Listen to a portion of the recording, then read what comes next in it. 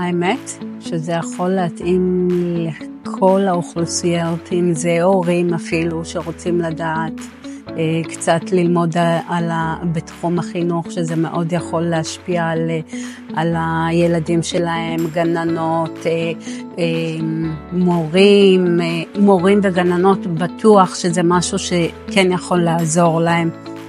ואגב, זה לא משנה אם זה חינוך רגיל או חינוך מיוחד, מקבלים פה כלים לשתי האפשרויות.